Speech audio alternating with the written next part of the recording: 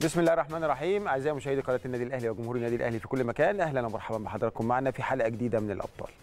زي ما تعودنا كل يوم حد وأربع بنكون مع بعض من 8 ل 9 ونص عشان نتناول أهم الأخبار اللي حصلت على الساحة الرياضية في الألعاب الأخرى داخل النادي الأهلي وخارج النادي الأهلي.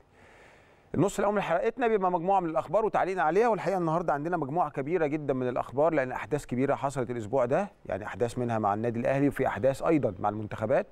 ويعني هيكون فيها أخبار وتعليقنا عليها بشكل يعني يعني بعمق شوية وتفصيلي أكتر من الحلقات السابقة. النص الثاني الفقرة الحوارية. حضراتكم عارفين إنه كان منتخب مصر للتنس الطاولة مشارك في بطولة أفريقيا الأسبوع اللي فات يعني آخر 10 أيام كان مشارك فيها هناك بمجموعة كبيرة من اللعيبة ممثلة لمصر. منهم طبعا مجموعة كبيرة من النادي الأهلي. والحقيقة فرق مصر حققت نتائج كبيرة جدا مدعومة بلعيبة النادي الأهلي.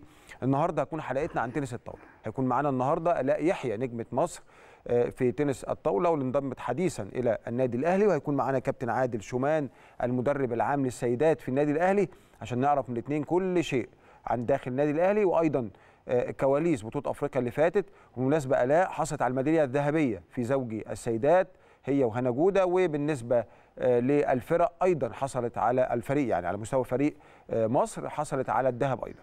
اذا يعني إنجازات كبيرة في تنس الطاولة إنجازات هتشوفوا حتى مردودها على الترتيب العالمي للاعبتنا. الموضوع بقى أفضل كتير وفي لاعبات يعني قفزنا يمكن 21 مركز في التصنيف العالمي وفي لاعبات عندنا تصدرنا التصنيف العالمي يعني هنجيب لكم الخبر بالتفصيل ولكن ما شاء الله عندنا البطولة أفريقيا يعني عملت طفرة كبيرة جدا جدا لمصر على مستوى الفرق وللفردي على مستوى اللاعبين واللاعبات. طيب هنروح للخبر يعني الأبرز الأسبوع ده وهو السوبر المصري لكرة اليد وبعد هزيمة النادي الأهلي وفوز نادي الزمالك بالسوبر كنا أول مبارياتنا كان مع سبورتنج يوم الأحد وفزنا على سبورتنج فرق هدف وبعد كده لعبنا يوم الاثنين مع نادي الزمالك وللأسف لم نوفق وخسرنا طبعا بنقول hard luck للنادي الأهلي. ولكن في بعض الأمور اللي أنا يعني عايز لها إجابة ويعني محتاجين إن إحنا يعني نفكر مع بعض شوية. زي ما تعودنا برنامج الأبطال إحنا دايما بنفكر مع بعض ممكن يبقى في سبب إيه إيه اللي حصل الدنيا ماشية إزاي. اولا النادي الأهلي خلينا نرجع بالفلاش باك شوية. النادي الأهلي السنة اللي فاتت ركز مع الفريق كمجلس إدارة بتكلم كمجلس إدارة طبعا بقيادة الكابتن محمود الخطيب ركزوا بشكل كبير مع الفريق دعموا الفريق بصفقات جديدة دعموا الفريق بجهاز فني أسباني وأيضا قطاع الناشئين أيضا بمدير فني أسباني. حصل طبعا دعم اللاعبين معسكر إعداد جيد جدا جدا. سافروا أسبانيا الفريق لعب اللي طلبوا المدير الفني اتحقق. يعني سافروا أسبانيا لعبوا مباريتين بعد كده طلعنا على البوسنة لعبنا ثلاث مباريات رجعنا كملنا مبارياتنا هنا ودية في مع فرق مصرية ودخلنا على السوبر. اذا الإعداد جيد.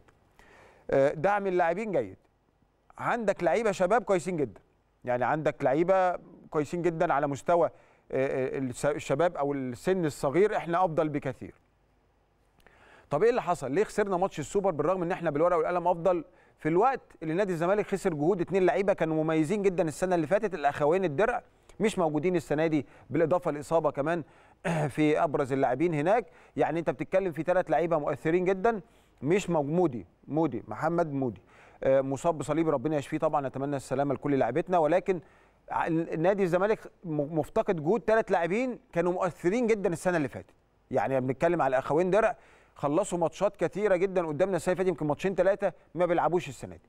اذا فين المشكلة؟ أنت أفضل؟ أنت بتعدي أحسن؟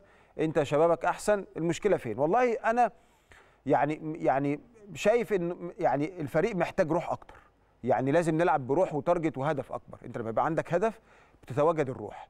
أنت ممكن تكون أقل فنيا وشفنا ده في ماتش في أفريقيا. في السوبر الأفريقي. يعني قصدي أقول لك إن أنت ممكن تبقى أقل فنيا والمنافس أقوى ولكن بالروح بتعوض. للأسف الفريق افتقد الروح في هذه المباراة. والروح كانت مهمة جدا جدا جدا. يمكن هي دي اللي ميزت يمكن الزمالك عن النادي الأهلي. كنا محتاجين الروح كان محتاجين تركيز أكتر من كده. لازم اللعيبة والكبار اللعيبة الكبار أنا بختص اللعيبة الكبار. ليه أنا بقول كده؟ اولا أنت عندك اثنين من الصغيرين اثنين لعيبة 20 سنة و19 سنة و21 سنة. عندك مهاب سعيد قدم مباراة كبيرة جدا. عندك حميد حارس مرمى قدم مباراة كبيرة جدا. الاثنين صغيرين في السن. يعني الموضوع مش محتاج خبرات ولا حاجة الموضوع بس محتاج روح. الاثنين دول كان عندهم روح كان عندهم دافع كان عندهم آه، زي ما بتقول إحنا بنقول في الرياضة غلوا على جزوا على أسنانهم. جزوا على سنهم في الملعب كده عملوا مباراة كبيرة جدا. لا إحنا مش عايزين واحد ولا اتنين إحنا عايزين حالة الروح دي أو الروح دي تبقى على الكل. الكل يبقى عنده حتة الروح والعزيمة وإن إحنا نازلين نكسب.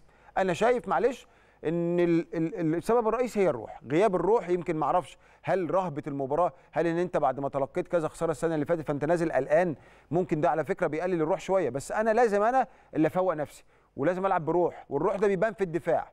إحنا للأسف دفاعنا ما كانش جيد. دفاعنا ما كانش جيد.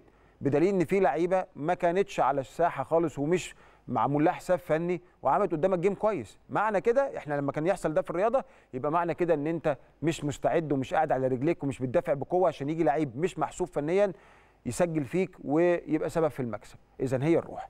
لازم اللعيبة تقعد مع بعض لازم اللعيبة الكبار خاصة اللعيبة القياديين خلي بالكم السنة دي مفترق طرق. السنة اللي فاتت كان في يعني بعض الأعذار إن أنت ناقص إن أنت مصاب مصابين محتاج خبرات محتاج محتاج كل ده مجلس إدارة وقف بشكل كبير في ظهر الفريق دعم فني دعم معسكرات إعداد خاصة رأس مدير نشاط رياضي كابتن خالد العوضي هو رجل كرة يد. فإذا عمل كل ما هو ممكن يتعمل للفريق. ولسه ولسه في كمان جاي هيتعمل. الروح لازم اللاعبين يعني تقعد مع بعض لازم يتعاهدوا مع بعض. خلاص ما ينفعش بطولة ثانية تتخسر السنة دي. الفريق بيستعد. لاستكمال طبعا دوري الدوري بقى هيبتدي الدوري عندنا ماتش المعادي إن شاء الله هيتلعب الأسبوع القادم. وبعد كده بنستعد بقى وبعد كده بقى يعني إحنا هنلعب إن شاء الله يوم الجمعة اللي جاية مع المعادي على الساعة 4 العصر في النادي الأهلي أو صاله الأمير عبد الله الفيصل بمقر النادي الأهلي بالجزيرة.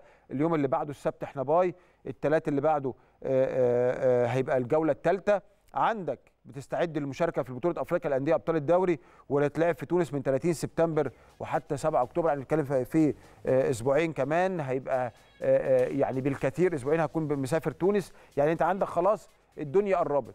لازم الفريق يفوق واللعيبة الكبار تفوق. خلاص أنت رايح على بطولة أفريقيا. مهم جدا مش هينفع. السنة اللي فاتت ابتدينا الموسم ببطولة أبطال الكؤوس.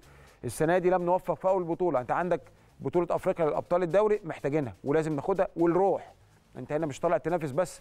نادي الزمالك انت طالع تنافس الأندية التونسية. انت بتلعب في تونس البطولة في تونس فإذا هيبقى الترجي والأفريقي مشاركين من غير ما يعني ما, ما, يعني ما فكر. فطبعا انت عندك يعني منافسة أكتر وأشرس. فطبعا لازم يبقى في روح. بدون روح مفيش أي فريق. وخلي بالكم زي ما أنا قلت لحضراتكم اثنين لعيبة صغيرين لعبوا بروح أدوا أداء كبير جدا. يعني الموضوع بسيط جدا مش محتاج أي حاجة. جز على أسنانك اقعد على رجليك دافع محدش يخش بسهولة. استحضر وركز في كلام المدير الفني. هتكسب بما بما لا شك. ولكن هارد لك إن شاء الله القادم أفضل بإذن الله. وأنا عن نفسي أنا متفائل. ليه؟ لأن أنا متفائل لسبب واحد. من جد وجد اللي بيشتغل أو اللي بيزرع بيحصد. الفرقة شغالة ويعني دي يمكن بطولة لسه عندنا خمسة. إن شاء الله رب العالمين ناخد الخمسة من الخمسة اللي جايين. ليه لأ؟ فأنا متفائل لكل اللي بيتعب ربنا بيديله في النهاية. طيب هنروح لشباب كرة اليد اللي في مجموعة كبيرة أيضا بتشارك مع الفريق الأول في تدريباته. كانوا بيلعبوا المعادي الحمد لله فزنا بنتيجة كبيرة 42 12 فرق كبير جدا عن نادي المعادي نادي المعادي نادي محترم. وبيمرن هذا الفريق الكابتن أشرف عواد نجم طبعا مصر والنادي الأهلي السابق. وكان السنة اللي فاتت مساعد في الجهاز الأول أو الفريق الأول ولكن مرن فريق الشباب. وفرقتنا هترجع من المواجهة اللي هتكون يوم الثلاث إن شاء الله مع نادي الزمالك. يعني عندنا باي وبعد كده نادي الزمالك يوم الثلاث في 100 عقبة إن شاء الله. يعني عندهم برضو مباراة قوية ولكن إن شاء الله إحنا متوسمين خير في هذا الجيل. أنا قلت لكم إحنا في السن الصغير الشباب والناشئين إحنا أفضل. إحنا أفضل. آه عندنا طبعا المعادي باي بعد كده الزمالك إن شاء الله آه آه يبقى النفوذ إن شاء الله في 100 عقبة. آه بس إحنا على المستوى ده إحنا أفضل. إن شاء الله إحنا أفضل. مستوى الشباب مواليد 2002 2004 وانت نازل إحنا الحمد لله أفضل بدليل مشاركتنا مع المنتخبات وبدليل مشاركة لعيبتنا مع الفريق الأول. أكيد إن شاء الله يعني زي ما بقول لحضراتكم هتبقى النتائج جيدة. وخلي بالكم ده مرتبط ده داخل مع الفريق الأول. هذا الجيل هو 2002 و2004 داخلين مع المرتبط في الدرجة كل واحد بدرجات بتقل معين. يعني الفريق 2002 بيساعد الدرجة الأولى بويت معين في النقط و2004 نفس الكلام. ولكن الفرقتين داخلين مع دوري المرتبط عشان يرتبوا الفرق بعد كده من الأول للسادس وبعد كده نخش على دوري السوبر آه لكرة اليد إن شاء الله. ده هيبقى لاحقا بعد كده بإذن الله. طيب هنروح للسيدات، السيدات طبعا ما شاء الله عاملين يعني شغل كويس. أول مباراة اطلاقوا خسارة من سموحة ب 26 24 كانت المباراة في اسكندرية المباراة الثانية كانت مع نادي الزمالك. اكتسحنا نادي الزمالك بفرق كبير جدا 34 22 وكانت المباراة على صالة الأمير عبد الله فيصل بالمناسبة ده كابتن محمد عادل زولا وهو في المباراة كان عنده شعور بنغزة في صدره. وطبعا يعني نقل بعديها على على المستشفى المعلمين وعمل قسطره وركب دعامات ولكن طبعا بنتمنى له كل الشفاء وهو دلوقتي بيقود التدريبات عادي طبعا ما فيش أي مشكلة. طيب آه، فريقنا بيستعد إن شاء الله آه، للمعادي في دوري السيدات بإذن الله يوم السبت، الماتشات بتتلعب الساعة 6 آه، والماتش هيتلعب على صالة نادي المعادي، دي المباراة بتاعت الزمالك، الزمالك كان بيرتدي الزي الأزرق في مباراته آه، مع الأهلي. طيب آه عايز أقول لكم إن بعد الخسارة طبعا آه، آه، سيادة الوزير العامل فاروق وكابتن آه، مرتجي آه، وطبعا آه، ياسر لبيب أنا بس وكابتن خالد العوضي آه، وكابتن مي أعضاء مجلس إدارة موجودين كلهم في المقصورة كانوا بيساندوا فريق آه، آه، آه، كرة اليد سيدات والحمد لله كان بيقولوا مباراة يعني كان نفسنا نشوفها. يعني إحنا كنا عايزين نذاع قناة النادي الأهلي لولا الاتحاد كرة اليد رفض إن إحنا نخش كنا هنذاعها وكنا نستمتع جدا بأداء النادي الأهلي. بس خلينا أقول حاجة إنه بعد الخسارة الكبيرة لنادي الزمالك آه، آه، 34 22 النادي نادي الزمالك قرر عدم المشاركة في البطولة العربية. ساعات بتبقى الخسارة الثقيله دي بي- بيلجأ بعض الفرق يقول لك لا مش هشارك أنا وضعي مش جيد برغم إن هو كان باعت إنه يشارك في البطوله العربيه ولكن نادي الزمالك سيدات آه، انسحب بعد هذه الهزيمة من آه، آه، بطولة البطوله العربية. كنا نتمنى طبعا آه، المشاركة ولكن طبعا نتمنى لهم نتمنى الخير لكل الفرق المصرية ولكن ده اللي حصل. بقول لحضراتكم الخبر. النادي نادي الزمالك انسحب آه، بعد هزيمته من آه، آه، الزمالك من الأهلي بنتيجة 34 22 على صالة الأمير عبد الله الفيصل بمقر النادي الأهلي آه، بالجزيرة. طيب هنروح للبطوله العربية لكرة السلة. خلاص ال- العد التنازلي ابتدى.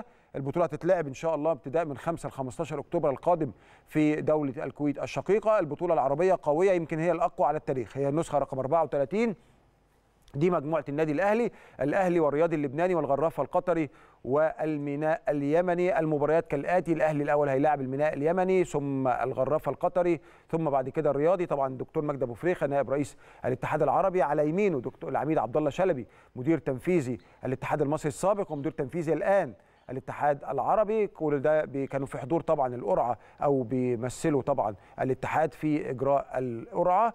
وزي ما قلت لحضراتكم دي المباريات. مبارياتنا هتبتدي تدريجي. الميناء اليمني زي ما قلت لحضراتكم بعد كده الغرافه القطري وبعد كده الرياضي اللبناني فهي مباراة تصاعدية. طبعا في أربع مجاميع المجموعة الأولى زي ما قلت لحضراتكم إحنا جايين في المجموعة الثانية المجموعة الأولى مين؟ الكويت الرياضي الاتحاد السكندري أهلي حلب السوري أهلي بني غازي. وهنا شفنا مشاركة أهلي حلب السوري عودا حميدا للفرقه السورية. أهلي حلب من الأندية السورية اللي ليها باع ذراع باع وذراع كبير في كرة السلة وكان ليا الشرف إن أنا لعبت في حلب قصاد أهلي حلب مرات عديدة.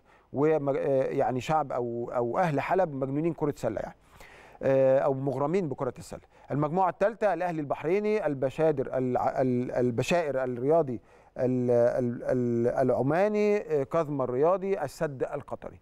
نخش بعد كده على المجموعة الرابعة الجهراء الرياضي بيروت اللبناني ود- وداد بوفريق الجزائري ودجلة الجامعة العراقي الأهلي طبعا بفكر حضراتكم أو مش محتاج أفكركم كلكم طبعا مذاكرين معانا وحافظين. النادي الأهلي حامل اللقب البطولة الأخيرة في نسختها 33 اللي كانت مقامة في برج العرب في اسكندرية السنة اللي فاتت في نفس التوقيت. النادي الأهلي رايح بأمال عريضة. النادي الأهلي رايح باثنين أجانب معانا في الفريق. والتر هودج اللي طبعا محترف معانا البورتوريكو الممتد معانا طول الموسم. وفكوادي اللاعب الأمريكي اللي لعب معانا السنة اللي فاتت أيضا البطولة العربية. ويبقى لنا الحق في التعاقد مع لاعب عربي ثالث. هل مستر اجوستي بوش هيكتفي بالتشكيل ده ولا ممكن يتعاقد مع لاعب عربي؟ ده اللي هتسفر عنه الأيام القادمة. ولكن اللي أعرفه واللي أنا شايفه إنه طبعا الفرقة بتتمرن بشكل جيد بيستعدوا بشكل جيد. اللعيبة الدوليين نزلوا التمرين لعبنا مباراة في بطولة القاهرة آه، آه، وفزنا فيها بفرق كبير جدا. يعني قصدي أقول لكم إنه الفريق بيستعد بشكل جيد وتبقى أسبوعين. عرفت من كابتن أحمد الجارحي إن الفريق هيسافر يوم اثنين أو ثلاثة عشان يستعد قبل البطوله أو ياخد على الأجواء قبلها بيومين ثلاثة البطولة دي من أقوى البطولات يمكن أقوى, من ال BAL Basketball African League لأن كل فرقة معاها ثلاثة محترفين بالإضافة للعيبة المحليين القوية لأن كل الفرق دي هي أبطال في آه، بلدانهم. هنروح لنرجع تاني نرد لخبر مهم مع تنس الطاولة بطولة أفريقيا وزي ما قلنا لحضراتكم النتائج الجيدة في بطولة أفريقيا اللي كان ليها تأثير مباشر على ترتيب اللاعبين الفردي أو الرانك العالمي. عندنا دينا مشرف نجمتنا نجمة النادي الأهلي آه، ومنتخب مصر والمحترفة في ألمانيا وفرنسا ترتقي 21 مركز في التصنيف العالمي وهنا جودة بنتنا بنت النادي الأهلي. طبعا دي صورة آه، آه، نجمتنا الكبيرة دينا مشرف اللي ارتقت 21 مركز في التصنيف العالمي. وهنا جودة تتصدر تصنيف الشابات تحت 19 سنة. رقم واحد على العالم هنا جودة. بسم الله ما شاء الله. وهي صاحبة ال 15 عام. دينا مشرف لاعبه منتخبنا الوطني لتنس الطاولة ونجمة النادي الأهلي آه، تصنيفها ارتقى 21 مركز بالتصنيف العالمي وجت في المركز ال 29 بعد ما كانت في المركز ال 50 عشان تكون صاحبة أحسن تصنيف لاعبه مصرية وعربيه أفريقية على مدار التاريخ. إنجاز كبير جدا جدا يعني. آه، دينا حققت القفزة دي بعد فوزها بطولة أفريقيا الأخيرة واللي كانت في الجزائر بعد فوزها على زميلتها يسرى أشرف حلمي بنتيجة 3 0 4 0 أنا آسف. لو رحنا للمعجزة الصاعده هنا جودة فنلاقيها تصدرت التصنيف العالمي تحت 19 لأول مرة في تاريخها وده بالإضافة لتصديرها التصنيف تحت 15 وتحت 17 يا جماعة يعني لازم هنا سأصمت قليلا زي ما بيقولوا. هنا جودة اللاعبه صاحبة ال 15 سنة دي معجزة. دي لو في أي دولة يعني آه، أوروبية مثلا أو أي دولة كبيرة كانت هتبقى معجزة عليهم. ما بالكم بقى في مصر اللي هي بتقع يعني في أفريقيا اللي هو يعني برضو إحنا مستوانا مش زي أوروبا. أنت بتتكلم مصر بنت مصر طالعة تصنيفها رقم 15 واحد على العالم. تحت 17 الواحد على العالم تحت 19 واحد على العالم. أنا أتصور حتى اللاعبات يعني يمكن أنا يعني كتر خيركم إن أنتوا حاطين صورتها ورايا يعني لأن هي فعلا أسطورة فعلا يعني 15 سنة ومعجزة. الأسطورة دي بقى يعني يمكن لما تكبر شوية. إنما دلوقتي هي معجزة معجزة بكل المقاييس. آه، آه، وأنا الحقيقة يعني ما عنديش كلام أقوله. لما يبقى لاعب بيلعب بطوله لعبة بيسيطر عليها الصينيين على مدار التاريخ ويتصدر التصنيف العالمي 15 و17 و19 لا يعني بجد يعني إنجاز كبير تتحدث ورقم 42 على مستوى السيدات. أنتوا بتتكلموا يا جماعة في معجزة بنت النادي الأهلي آه، يعني زي ما بيقولوا وهي عندها سنتين ثلاثة وأربعة بتلعب في النادي الأهلي يعني دي خريجة أكاديمية النادي الأهلي في كل شيء. هنا جوده الحقيقة يعني بتعمل معجزة بتعمل ملحمة كبيرة جدا. هنا جوده بالمناسبة بتعمل عمرة دلوقتي هي والدتها يعني أنا عايز أقول لكم إن مهما قلنا ومهما عدنا مش هنقول الإعجاز اللي حصل. ده مش مش مش مش مش معجزة ده إعجاز. دي هنا جودة إعجاز بجد بكل ما تحمله الكلمة من معاني. إن أنت تتصدر التصنيف العالمي في الثلاث مراحل السنية وفي التصنيف السيدات وأنت عندك 15 سنة وفي التصنيف السيدات 42 عشان أوصل للتصنيف الثلاثه لازم أشارك في الثلاث بطولات في الثلاث مراحل سنية بطولات كتيرة. فمتخيلين حجم الجهد؟ والجهد المبذول بينعكس على النتائج ونتائج جيدة في الثلاث مراحل السنية. أنا عايز بس الناس تفكر أو تستحضر معايا الإعجاز. اللي بتعمله هنا جودة ده بأمانة إعجاز عشان سنها كمان صغير. يعني دينا مشرف ربنا يديها الصحة يا رب 29 عالميا. دينا مشرف أسطورة كبيرة أيضا ولكن إحنا بنتكلم عن هنا جودة صغيرة في السن لسه عندها العمر كبير. هي في التصنيف 42 أنا يعني ما عنديش كلام أقوله غير ربنا يحميك يا رب ربنا يحفظك من الإصابات يا رب تكمل زي ما هي ماشية وتستمر بإذن الله ونشوفها في يوم من الأيام. آه، يعني زي دينا مشرف كده ما هي الأولى عربيا وافريقيا أو أول عربية وأفريقية توصل لمركز 29 عالميا. إن شاء الله نشوف هنا جوده آه، مع العمر لما توصل 21 22 سنة توصل تبقى رقم واحد على مستوى العالم في إعجاز وإنجاز كبير لمصر وصنع هذا الإنجاز داخل النادي الأهلي. اعزائي المشاهدين خلينا نكمل أخبارنا ولكن بعد الفاصل.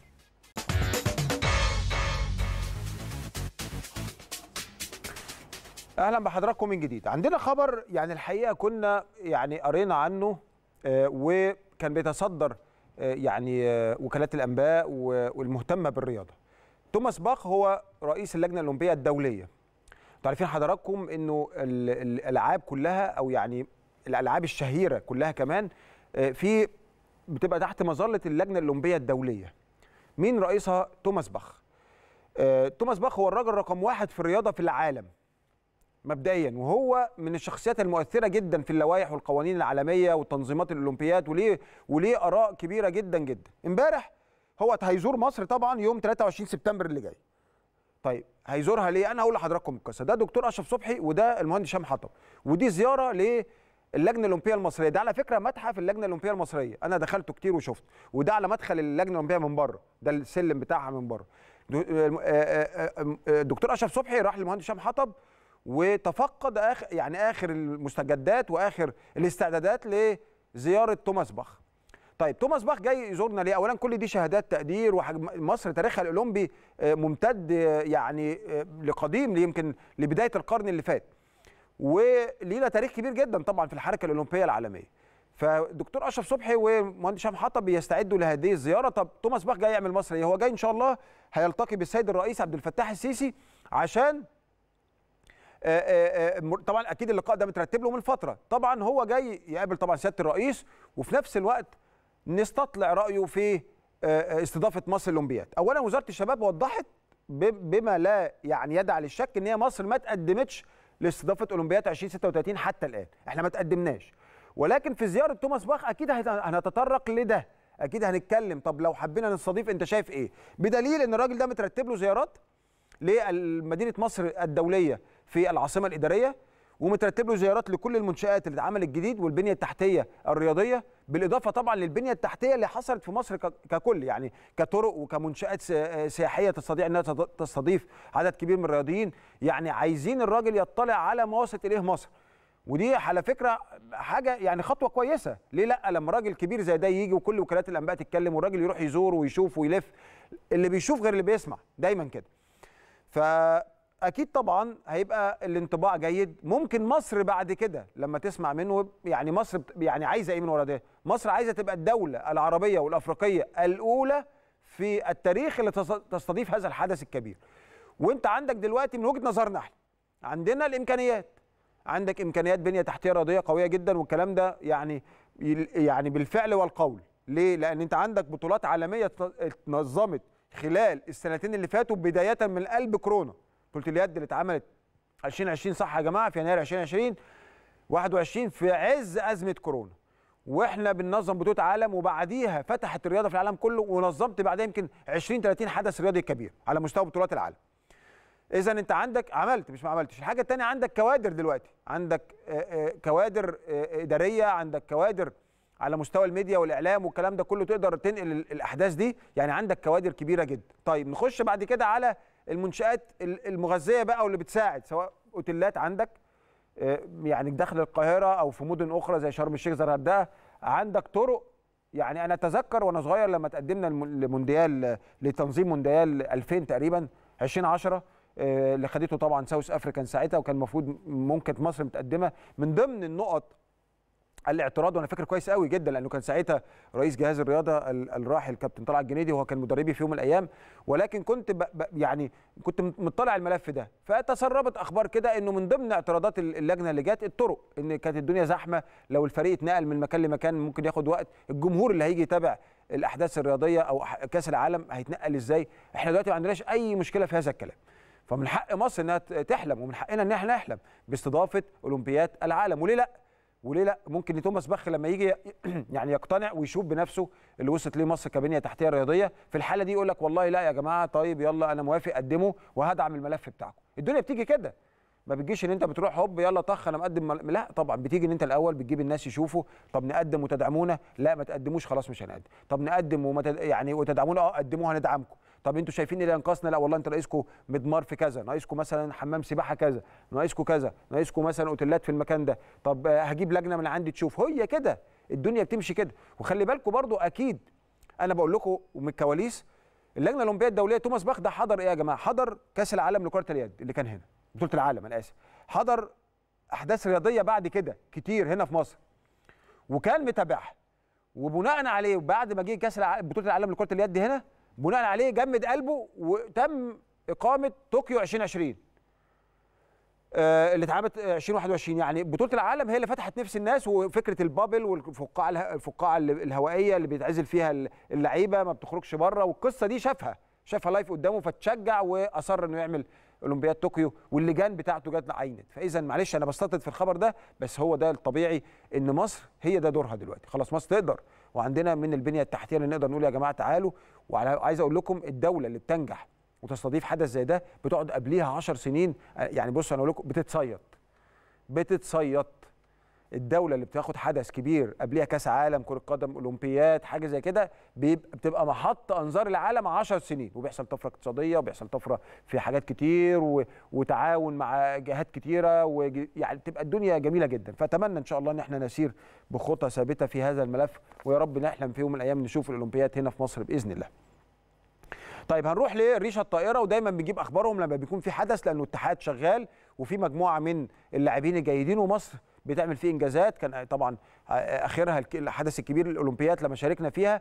اذا في شغل بيحصل. في بطولة اسمها بطولة بنين الدولية لريشة الطائرة. إحنا رحنا شاركنا فيها وحققنا فيها إنجازات كويسة. آه، ولازم نقف ورا الولاد دول والشباب دول والمجتهدين اللي هم بيلعبوا رياضة. يعني عايز أقول لكم من غير أي دخل ومن غير أي حاجة بس بيلعبوا عشان بيحبوا الرياضة. منتخبنا الوطني ريشه الطائرة حقق ست ميداليات في بطولة بنين الدولية واللي بتتلعب في الفترة من 11 ل 14 سبتمبر اللي إحنا فيه. حقق منتخبنا منتخب الشباب ثلاث ميداليات اثنين اثنين ذهب واحدة فضة عن طريق ذهبية جان هشام في فرد الشابات وحققت زميلتها هادي أحمد الجندي الميدالية الفضية في نفس المسابقة وحقق الثنائي ذهبية زوجي السيدات. أما لو رحنا المنافسات الكبار فهنلاقي إننا حققنا ثلاث ميداليات برضو بس كانوا فضية وبرونزيتين.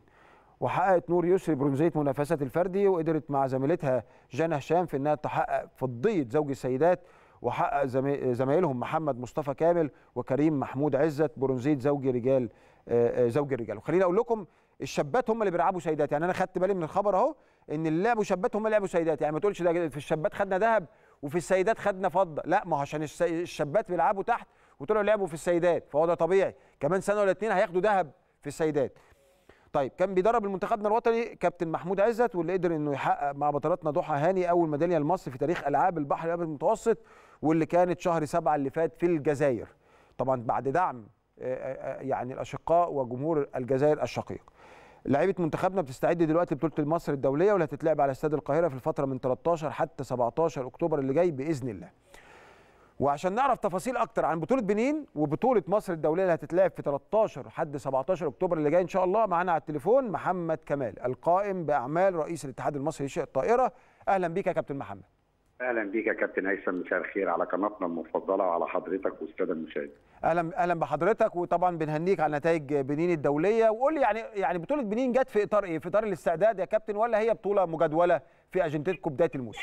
هي بطولة يعني بتحتوي أكتر من معنى إن إحنا عندنا أدم حاتم وضحى هاني ترتيب باريس إن إحنا زي ما أنت حضرتك عارف إن إحنا لعبه ترتيب دولي. وتاني حاجة بنستعد لبطولة مصر الدولية باحتكاك قوي. منتخب الشابات اللي عنده بطولة العالم في أسبانيا كمان يوم 18 أكتوبر لحد يوم 4 25 أكتوبر اللي جاي. بس كده؟ لا بس ثانية ثانية واحدة يا كابتن. كده انت عندك الشابات مش هيشاركوا في بطولة مصر الدولية لأن انت عندك إحنا ان شاء الله يلحقوا أول ثلاث أول يومين وان شاء الله يكون السفر ممتاز. 17 ممتاز. 17 بعد انتهاء البطولة على طول بالليل ممكن إن شاء الله يكون سفرهم لبطوله العالم في أسبانيا. الله ينور. يعني هيلعبوا البطولتين. الله ينور يا كابتن. اتفضل يا كابتن. آه فاحنا بنحاول نديهم فترة احتكاك قوية إن إحنا زي ما قلنا لحضرتك قبل كده في لقاءات سابقة إن إحنا إن شاء الله بنحاول نحط اولادنا على الطريق العالمي. وده دعم الوزارة لينا والاتجاه الوزارة إن إحنا عايزين ميداليات عالمية. يعني أفريقيا الحمد لله إحنا مسيطرين على أفريقيا. آه العرب مسيطرين عليها. فالريشه الطايرة من الصعب إن إحنا ننتقل للعالمية لكن بنجهز ولادنا للطريق ده ونديهم آه السكة والطريق إن هم إن شاء الله يكونوا موجودين في بطولات العالم بأمر الله ونحقق بقى فيها زي البحر الأبيض المتوسط كده دي كانت بداية ان شاء الله بنبص بقى لبطولات العالم بأمر طب كابتن بطولة مصر الدولية دي نسختها كام؟ هل دي النسخة الأولى ولا كان في بطولات قبلها؟ لا ده النسخة السادسة هي توقفت سنتين بتاع كورونا. فيروس كورونا إنما إحنا عودنا بقوة عندنا ما شاء الله 32 دولة يعني الديدلاين بتاع البطولة قفل امبارح الساعة 6 مساء 32 دولة آه هيشاركوا في البطولة من أعلى دول العالم. ما شاء الله. فرنسا وإنجلترا وأمريكا ودول شرق آسيا الهند جاية آه يعني إيطاليا. ده رقم كبير يا كابتن 32 دولة في بلد زينا لسه بتاخد خطواتها الأولى في ريشة الطائرة. يعني برضو ده ثقة كبيرة من الدول دي كلها في حضور حدث زي ده في مصر. ثقة العالم في مصر طبعا. طبعا. وفي إمكانيات مصر وتنظيم مصر. وإحنا ان شاء الله بنحاول نجهز تجهيز كامل. إحنا شكلنا اللجنة العليا اخترنا مدير البطولة الدكتور باسم التهامي آه بدينا نشتغل من دلوقتي. بإذن الله نعمل بطولة على على قدر الحدث. وزارة الشباب والرياضة متعاونة معانا بكل إداراتها. دي حقيقة وبتتواصل كل يوم. آه حددوا لنا دعم معين ليها كويس. يقدر يغطي تكلفة كبيرة من البطولة. إحنا بنجتهد مع نفسنا إن إحنا نجيب أكبر قدر ممكن. من العملة الأجنبية برضه عشان السفريات للمنتخبات الدخل بتاع الفرق إن شاء الله. آه، فبنجتهد كلنا إن إحنا نظهر بالصورة اللي اللي ترضى علينا يرضى علينا بها العالم إن شاء الله. إن شاء الله أكيد. وهنتابع برضو يا كابتن معاك بطولة مصر الدولية. ويعني وحاجة يعني جيدة إن إحنا نشوف دعم كمان من وزارة الشباب والرياضة وحاسة بالمجهود اللي أنت بتعملوه. وفعلا ده تقدير كبير والله ما أنا بقول بأمانة يعني. أنا من ساعة ما توليت المهمة يعني قريب سنة كل البطولات بي يعني بيدعمونا فيها بيساعدونا بيتابعونا. يعني بصراحة يعني أنا أنا أنا بشكرهم. بشكر معالي الوزير الدكتور أشرف صبحي وإدارة قطاع الرياضة إدارة الأداء الرياضي معاونيه سيادة الوزير بصراحة بيتواصلوا في اي مشكلة بيحلوا لنا مشاكل دلوقتي كتيرة جدا. وأنا بشكرهم وإن شاء الله نكون عند حسن ظنهم يا رب. طب كابتن قول لي يعني حضرتك عندك فريق بارالمبي ب- كمان يعني فريق بيلعب ب- أنا- ده إحنا الاتحاد بقى خليه نحل أنا نفسي مش ملاحق. والله يا كابتن هيثم أنا أنا عندي بطولة أفريقيا للبارا بادمنتون هتسافر يوم الأحد إن شاء الله. ما شاء الله. ترجع يوم 24 9 دي بطولة أفريقيا. عندي. منهم اثنين لعيبة آه، في البارا ما شاء الله آه، شيماء سامي رقم أربعة على العالم ياسمين عيسى رقم ستة على العالم انتقل انتقال كويس جدا بالرعاية وبالوجود الاتحاد بنحاول نوفر للاعبتنا بكل دعمنا وكل إمكانياتنا للاعبين. الفترة اللي موجودة دي يعني. ربنا معاك يا كابتن محمد وإن شاء الله مجهود مشرف وإن شاء الله ندعمكم بشكل كبير اعلاميا إن شاء الله لما نشوف أنتوا بتحققوا التارجت بتاعكم إن شاء الله كابتن إن شاء الله. ربنا يخليك وشرف لينا إن إحنا نكون مع معاليك إن شاء الله. كابتن محمد كمال القائم بأعمال رئيس الاتحاد المصري ريشه الطائرة بشكرك شكرا جزيلا وكل التوفيق لريشه الطائرة لما يبقى في ناس شغالة أكيد ده حاجة بتسعدنا جدا جدا. نروح لخبر الحقيقة سعدنا كلنا. خبر آه، يعني أول مرة في التاريخ تتأهل لاعبة مصرية في المصارعة إلى نهائي بطولة العالم. مين اللي عمل كده؟ سمر حمزة نجمة مصر في المصارعة استطاعت إنها توصل لبطولة عالم. خليني أقول لكم إن سمر حمزة من اللعيبة الكتير اللي اتظلمت أو اللاعبات كتيرة اللي اتظلمت أو قابلها سوء توفيق بشكل غير طبيعي الفترة اللي فاتت. دي صورة نجمتنا سمر حمزة. سمر بدأت مشوارها في بطولة العالم بالفوز على بطلة كندا 3-1 وبعدين كسبت بطلة النمسا آه، في دور الثمانيه وبعد كده في في قبل النهائي كسبت بطلة إستونيا 3-2 وهتلاعب إن شاء الله بطلة تركيا في النهائي. سمر حمزة كل اللاعبات آه، اللي كسبتهم يا إما أبطال عالم يا أبطال أولمبيين وبالمناسبة بطلة تركيا اللي هتلاعبها في النهائي هي صاحبة برونزية آه، الأولمبياد. وسمر حمزة من اللاعبات اللي لعبت أولمبياد ولكن صادفها سوء حظ غير طبيعي. أنا متابع سمر حمزة من زمان متابعها من فترة وبقول يا رب هي بتجتهد وبتشتغل وإيه اللي بيحصل؟ بس سبحان الله إن شاء الله تبقى أول أول أول لاعبة تفوز بالذهب يا رب في بطوله العالم. سمر هي اللاعب المصري الوحيد اللي قدر طبعا يضمن ميدالية في البعثة اللي راحت آه، آه، في آه، بطولة العالم وكانت البعثة ممثلة في هيثم فهمي في وزن كانوا ست لعيبة هيثم فهمي في وزن 60 كيلو جرام محمد إبراهيم كيشو 67 كيلو جرام محمد مصطفى متولي في وزن 87 عبد اللطيف منيع في وزن 130 ومعاهم في المصارعة الحرة يوسف حميدة في وزن 125 وسمر حمزة في وزن 76 في المصارعة النسائية. بيدرب منتخب المصارعة الكابتن كمال عبده. أما المصارعة الحرة والنسائية فبيدربهم الكابتن محمد طلبة وبيترأس البعثه اللواء محمد محمود وهو نائب رئيس الاتحاد. ألف مليون مبروك يا سمر. إن شاء الله الذهب بإذن الله آه، ترجعي بيه لمصر. تستحقي بتجتهدي. أنا متابعها كويس جدا على ال social media متابعها كويس قوي على آه، يعني على صفحات التواصل من ناحية تدريباتها واجتهادها. ربنا يوفقك ويعوضك خير عن سوء الحظ اللي انتابك خلال آخر سنتين وكان طبعا أبرزهم الأولمبيات. إن شاء الله تحققي ميدالية ذهبية في بطولة العالم إن شاء الله قدام بطلة تركيا بإذن الله. هنروح لأحد يعني فتيات مصر الذهبيات. بسنت حميدة تحصد فضية وبرونزية بملتقى آه، بلزونا بسويسرا. آه، بسنت حميدة لعبه منتخبنا طبعا أنتوا فاكرين الاولمبياد آه، بطولة البحر المتوسط والضجة وال- وال- والقلبان اللي عملته بسنت اهي ما شاء الله عليها.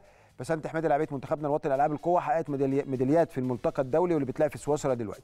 بسنت كانت حققت فضية وبرونز في البطولة العالمية دي لأنها حققت فضية في سباق 200 متر.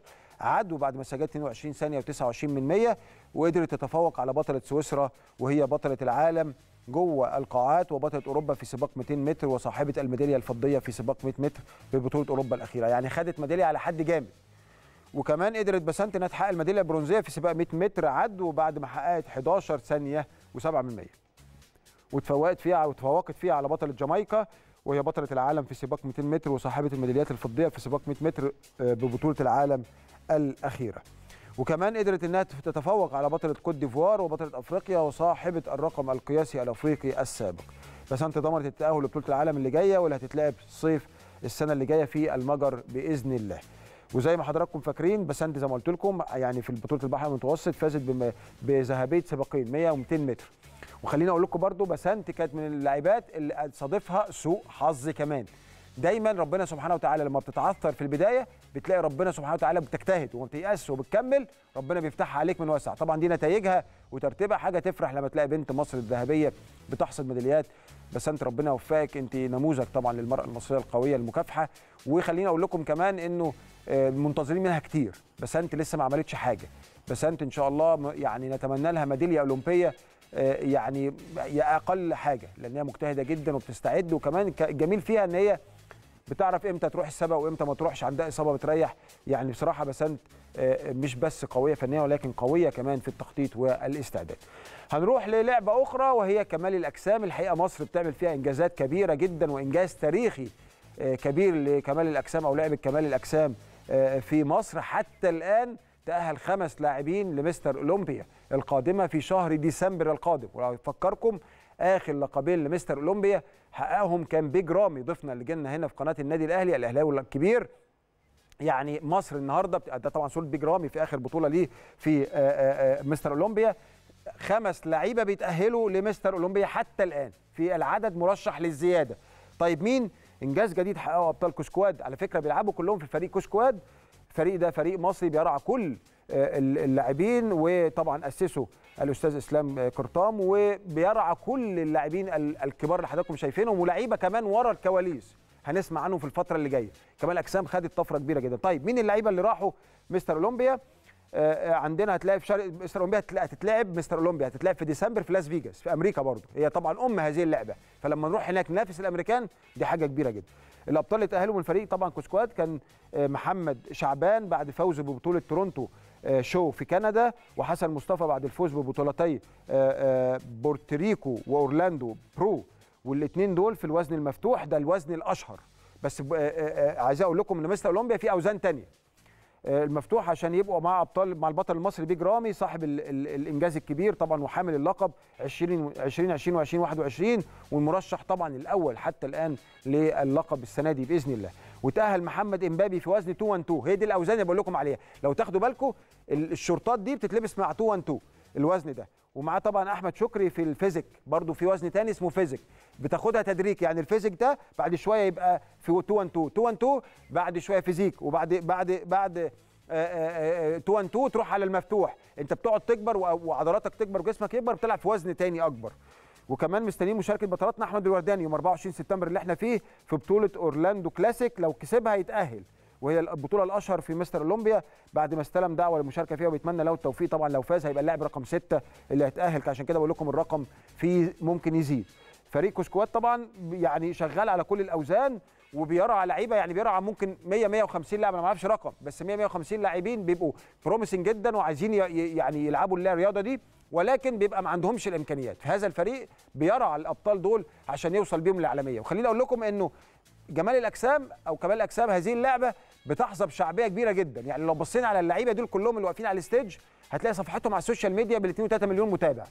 لعبة بت... بي- بيحبوها الشباب بيحبوا يلعبوا كمال أجسام على مستوى العالم كله. فلما تلاقي أبطال مصريين بيشاركوا بينافسوا الأبطال الأمريكان اللي هم رقم واحد في العالم بيبقى حاجة جيدة جدا. فأكيد خبر زي ده بيسعدنا وهنتابعه. وخلي بالكم من هنا لغاية شهر 12 آه، مستر أولمبيا زي السنة اللي فاتت قبل مستر أولمبيا كان بيج رامي معانا والحمد لله يا رب كنا مشينا حلو عليه. من هنا لشهر 12 اللي جاي هيكونوا معانا الأبطال دول بشكل أو آخر عشان نعرفكم عليهم ونعرفكم على حجم الجهد المبذول واللعيبة إزاي دي بتحاول توصل للعالمية يعني بإمكانيات قليلة ولكن الفريق اللي هم بيلعبوا ليه أكيد بيساعدهم وأكيد بيمدهم آه، بكل الدعم المعنوي والمادي عشان يوصلوا يحققوا ويحطوا اسم مصر آه، آه، قدام. إن شاء الله الوحوش بتوعنا وحوش كمال أجسام يعملوا إنجاز كبير السنة دي في مستر أولمبيا اللي بيتابعها ملايين بل مليارات على مستوى العالم. كده تكون أخبارنا انتهت. هنطلع لفاصل عشان نستقبل نج- نجمتنا في تنس الطاولة. أحد أبرز اللاعبات دلوقتي في أفريقيا ومصر ألاء يحيى واللي نجحت إن هي تاخد ميداليتين ذهب في بطولة أفريقيا اللي فاتت اللي خلصت منذ أيام. ويكون معانا كابتن عادل شمال مدربها في النادي الأهلي وأيضا المدرب العام طبعا في النادي الأهلي. ولكن بعد الفاصل.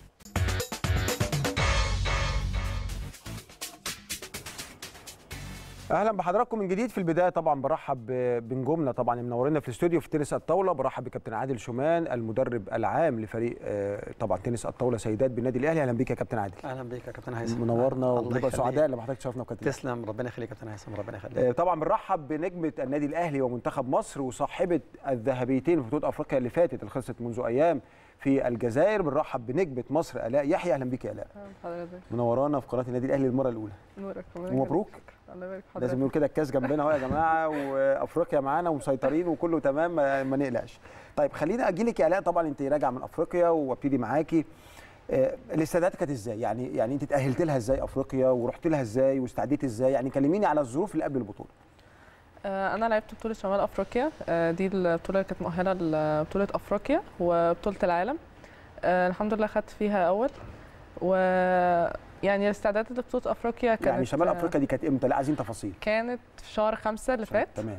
آه، كانت فين؟ كانت في الجزائر الجزائر برضه حلو مم. جميل جدا. كان كام دولة مشاركة أو كام لاعبة؟ آه، كانوا يعني ممكن نقول 16 لاعيبه حاجة آه، كده 16 لعيبه كتوتال. من مصر كان كام يا الاء؟ كان اتنين بس كان اتنين أنت ومين؟ أنا ورؤى الناغي تمام كويس. تأهلت آه، منها خدتي أول. آه اللي بيتأهل كام واحد؟ اللي بيتأهل اللي بيخشوا دور الثمانية بس يعني كان حد واحد بس من مصر هو اللي هيروح. فأنا ورؤى وصلنا فاينل فالكسبان هو اللي هيروح. يعني الحمد آه، لله يعني. تمام. تأهلت بقى فعرفت أنت خلاص رايحة أفريقيا. آه. من شهر خمسة بقى لغاية إحنا أهو في شهر تسعة كنا بنستعد. آه. تمام. حلو جدا. طيب أفريقيا لما رحنا إيه الدنيا إيه؟ البطولة طبعا كورونا قلت فطبعا مشاركة أكتر لعيبة أكتر الدول جاية بتقلها صح ولا أنا غلطان؟ صح. طيب إيه، ابتديت إزاي؟ يعني المشوار كان إزاي؟ المنافسات اتلعبت إزاي؟ كلميني بقى عن البطولة بشكل مفصل. آه، الاستعدادات يعني أنا كنت مستعدة من شهر خمسة أول ما عرفت إن أنا خلاص اتأهلت لها. آه، تمرين كان زايد كتير. صعب آه آه، وكان. عندنا بطولة قبليها بطولة جمهورية فبرضه آه، يعني. برضه كان تعتبر استعداد لأفريقيا. طبعا. برضه يعني مشاركة واحتكاك وكده. وفي لعيبات كويسين جدا في مصر فأنت لما بتلعب. قصادهم بيبقى احتكاك. طبعا. طبعاً، فالبطولة بتبقى قوية جدا. بس فالحمد لله يعني كنا كمان عاملين معسكر منتخب آه، قبل البطولة. فين؟ هنا في مصر آه في؟ استاد القاهرة. ممتاز. فطبعا كنا فترتين صبح وبالليل و... وكان كابتن عادل برضو معايا على طول وكابتن أحمد عياد. آه، كانوا يعني على طول زيادة مع تمرين المنتخب. متابعينك ومتابعين حالتك وكل حاجة. لحد ما الحمد لله يعني سافرنا وربنا كرم طب لما رحتي هناك في أفريقيا يعني أنت خدتي ذهب في الزوجي سيدات؟ وخدتي ذهب مع الفرق. الفرق ما خلينا في الفرق. الفرق بيلعب أربعة صح. كنتوا مين؟ لا كنا خمسة. كنتوا خمسة مين؟ آه، أنا ودينا مشرف ويسرا أشرف ومريم هشام وهنا جودة. وهنا كنتوا أنتوا الخمسة اللي لعبتوا. وانتوا الخمسة شاركتوا. طيب وجيتي بعد كده في الزوجي الجهاز الفني أو المنتخب اختارك انت وهنا اللي تلعبوا. آه كنت انا وهنا ومريم يسرا. ومريم ويسرا أنتوا لعبتوا تقريبا مريم ويسرا في ال final ولا أنا آه. غلطان؟ صح. مم. يعني أنتوا لعبتوا مريم ويسرا. يعني دخلتوا بزو... باثنين زوجي في البطوله آه. واتقابلتوا في الآخر. طب لعبتي فردي ولا ما لعبتيش؟ لعبت عملتي فردي. إيه طب قولي لي. آه خسرت من على الأربعة من يسرى أربعة تلاتة. خسرتي في دور الأربعة؟ على الأربعة. على على اربعه آه يعني ال quarter. يعني quarter آه اللي هو آه. دور الثمانيه آه. دور الثمانيه آه قابلت مين؟ هنا جودة؟ لا قابلت يسرى يسرى. خسرت أربعة تلاتة. ده كان ماتش ماشي اكل آه ماتش قعد كتير قوي عذاب عذاب. طب كابتن عادل أجل حضرتك يمكن أنت عندك مسؤولية كبيرة برضو يا كابتن. حضرتك في النادي الأهلي مركز مع لعيبتك والشغل جوه النادي الأهلي وأيضا مركز مع لاعباتنا اللي بيروحوا مع المنتخب. يعني السنة دي كنت شايفها إزاي؟ شايف السنة دي كان خلاص كورونا ما فيش ما في بطولات. هل ده بيبقى فيه يعني مشقة عليك أنت تتابع أولادنا هنا وهنا وهنا ولا الموضوع بالنسبة لك أنت خدت على كده؟ لا هو يعني في الحقيقة طبعا أكيد لازم بنتابع اللعيبة بالذات اللي هم بيروحوا المنتخب. يمكن أنا كنت على اتصال بيهم على طول. إيه الأخبار؟ التمرين عامل إيه؟ التمرين كويس؟ آه طيب. نزود في الحتة دي. طب نعمل في الحتة دي. آه طيب. آه في مجال تقدر آه لو في مجال إن هم يقدروا مثلا يجوا الصبح مرة طب بعد الظهر أو قبل التمرين بتاع المنتخب أو في حاجة عايزين يظبطوها؟ أنا والكابتن أحمد عياد آه بنقوم بالدور ده كويس قوي قوي يعني. آه فكنا متابعينهم جد كويس جدا يعني. مم. طب قول لي يا كابتن يعني خلينا نتكلم عن النادي الأهلي. أكيد اللاعب لو ما فيش معسكر مع المنتخب بيتعدي مع النادي بتاعه. طيب إحنا السنة دي طبعا ألاء انضمت لينا السنة دي حديثا جاية من جزيرة الورد طبعا قادمة من جزيرة الورد حاجة يعني أسعدتنا كلنا. مع رؤى الناغي آه. طبعا آه ودي حاجة تسعدنا طبعا آه، في انضمام اثنين نجمات كبار لمنتخب مصر في النادي الأهلي. أكيد هيبقوا إضافة وأكيد النادي الأهلي بيرحب بيهم ومش هيمشوا من نادي تاني عشان عارفين بس. فطبعا يعني آه، ده برضو بيخلي التدريب قوي. يعني أنت بيبقى عندك نجمات مستوى عالي ومصنفات على مستوى العالم التمرين بيبقى صعب. أنتوا بتعملوا إزاي؟ بتقودوا ده إزاي؟ هو في الحقيقة إحنا تملي فعلا بنركز قوي إن يكون عندنا القوة التدريبية تكون كويسة. آه، بنجيب لعيبة ترينرز يتمرنوا مع اللعيبة. إحنا عندنا يمكن ثلاثة أو أربعة. وساعات بنستعين بلعيبة 19 سنة علشان التمرين يعني يعني التمرين يبقى قوي. احتكاك. آه، واحتكاك آه بيبقى قوي. فلعبه تنس الطاولة لازم تغيير إيد. ما ينفعش إن لعيب يلعب صح. مع حد معين على طول. لازم يبقى في تغيير إيد. فاحنا عندنا ثلاثة أو أربعة ترينرز بيجوا يتمرنوا مع البنات مع الفرقة. وساعات بنستعين من آه،. فرقة 19 سنة. 19 آه. وساعات فرقة الرجال بيلعبوا معانا ماتشات يعني ف أنتوا بقى- أنتوا هنا بتخلقوا جو يعني بتخ... بتخ... يعني لأن زي ما حضرتك قلت لو وصل إن أنت كل يوم أنا بلاعب ألاء خلاص خدنا على بعض في. اللعب وبتاع ما بقاش فيه جديد. بالظبط. حضرتك بت... انت ده ده ده, ده اللي شاغلكم الأكتر. بالظبط. إن أنتوا إزاي تخلوا اللعيب يبقى طول الوقت بيعمل refresh لإمكانياته بالظبط آه يعني إحنا يعني يهمنا كمان إن عدد الفريق يبقى كتير ما ينفعش مثلا يبقى الفريق ثلاث أو أربع لعيبة بس مم. لا إحنا عندنا سبعة ثمانيه لازم الثمانيه يكونوا كويسين عشان التمرين يبقى كويس آه. واللعيبة تستفاد. وعلاوه على كده كمان زي ما بقول لحضرتك إحنا جايب جايبين trainers يتمرنوا مع اللعيبة. وساعات بنستعين بلعيبة 19 وساعات الرجال بيدخلوا يلعبوا معانا غير كده بتبقى مش حريص آه بتبقى حريص على الحتة دي آه. طب خليني أقول برضه يا كابتن إنه يعني انت لما بتيجي تتعاقد مع لاعب أو بتشوف لاعب هتطلعه معاك في الفريق الأول بيبقى ليه مواصفات. إيه اهم حاجة انت شايفها؟ ان دي لا يعني دي لازم يبقى ده اللعيب ده أو اللعيبة دي خلينا في, في, في السيدات. لازم الصفة دي أو المهارة دي أو الحاجة اللي انت شايفها دي لازم تكون في اللاعب مش مش هتنازل عنها ابدا. مهم جدا ضحكت انت من آه. ده انت فكرت حتة كده. آه. مهم جدا إن اللعيب ما يخافش الماتشات. يعني مهم جدا إن هو يعني أنزله في أي مكان. هتنزل رقم واحد هتنزل رقم اثنين هتنزل رقم ثلاثة هتنزل ضد الأهلي هتنزل آه آسف ضد الزمالك هتنزل ضد مش اي. فريق يبقى مستعد. ما أحسش إن اللعيب بيهرب من الماتش. أو بيقلق. أو بيقلق من الماتش أو بيقلق من لعيب معين. لا أنا أحب وتملي مهم جدا إن اللعيب لا لازم يكون واخد على وقفة الماتشات اللي هي بتاعت الدوري بالذات لأن الماتشات دي بتبقى مهمة جدا. الماتشات الدوري دي صعبة. مهمة جدا. آه بتبقى صعبة جدا. بدور على المواصفات آه، في المواصفات دي اللي في اللعيب اللي أنا ببقى عايزه. وبصراحة يعني في ألاء وفي ال- النقطة دي هم لعبوا الماتشات كتير جدا. يلعبوا ضد الأهلي كتير لعبوا ضد الزمالك كتير ضد لعبوا ضد سبورتنج كتير. أدائهم. أكيد آه. أكيد. يمكن أنا الاء ورؤى عايز أجيبهم من بقالي سنتين. وكل سنة طب معلش طب معلش. السنة اللي فاتت باباها بصراحة قال لي قال لي معلش ادينا السنة دي وإن شاء الله هتبقى معاك السنة الجاية. وألاء كان في يعني ألاء كانت في ميزة كويسة جدا إن هي حتى لما اتكلمنا معاها كانت بتقول يا جماعة ما حدش يكلمني إلا بعد الدوري ما يخلص. وإحنا كنا احترمنا فيها قوي دي. وفعلا ما اتكلمناش معاها آه، إلا بعد ما الدوري خلص والماتش خلص خالص واتكلمنا معاها بعد كده. بس اسمح لي هنيك لأن بامانه أنا استفدت منك. والله بجد وإحنا على الهواء الله يخليك. إن فعلا ال- الصفة دي اللي حضرتك بتتكلم عليها أنا فعلا أنا من هنا ورايح هاخد بالي منها. بجد لأنه لو اللاعب بيقلق فما فيش لاعب. ما أصلا ما فيش لاعب خلاص. بالظبط. الناحية دي مهمة جدا في الكورة في السلة في الطايرة بالظبط. في أي لعبة. لو اللعيب وقف على ال start أو وقف في المباراة قلق وحسيت المستوى حصل حصل له drop. بالظبط. نتيجة إنه قلقان هنا في أزمة كبيرة. مش ومش هتصلحها له. هو كمان يا كابتن هيثم حضرتك في في لعبتنا أو الألعاب الفردية بتلاقي لعيب فردي ولعيب فرق. نعم. يعني لعيب فردي ولعيب فرق. وفي الاثنين؟ وفي الاثنين طبعا. آه. ده طبعا في في الاثنين. بس أنا بتكلم إن لا أنا يهمني اللعيب اللي بيلعب فرق. وقف الماتش كتير وقف الم- الموقف ده كتير كده. في لعيبة طبعا آه بتلعب في الفردي كويس جدا جدا وتلعب في الفرق كويس جدا جدا. في بس أهنيك بصراحة لأنه دي دي. دي صفة لا لا ما فيش أنا يعني بقول لحضرتك يا ريت حتى يعني مدربين كرة القدم يتفرجوا عليها. فعلا أنت دي اللي هي اسمها إيه بقى ترجمها أنا؟ اللي بيقولوا عليها شخصية النادي الأهلي. بالظبط. بس انت حضرتك فسرتها لي بشكل يعني يمكن أول ضيف يفسرها لي الله بالشكل ده. يخليك ربنا شخصية النادي الأهلي إن أنا ما أقلقش أنا النادي الأهلي أنا ما بقاش عندي قلق. طيب خلينا أروح لالاء برضه أنا عايز أنت أنت برضه الناس ما تعرفش الاء من أسرة كرة سلة الصرف. مين بقى؟ مين خالها؟